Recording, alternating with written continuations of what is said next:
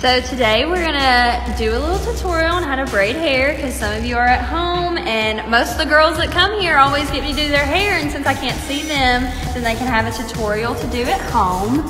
So Miss Abby is my model today. so first you just wanna part the hair down the, you can do down the middle or just at your regular part, it doesn't really matter.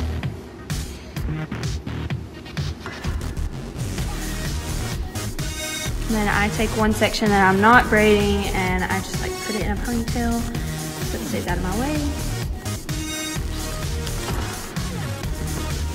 Okay, and then you take three little pieces. This is a Dutch braid, so you take three pieces and grab some hair and turn it under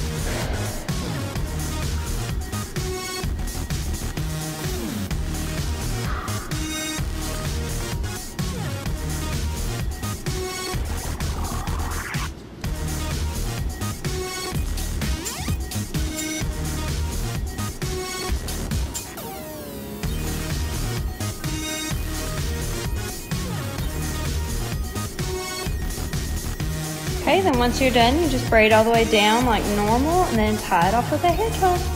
Okay, and this is what it'll look like when it's done. You just got two braids that go to the back. Thank you for watching.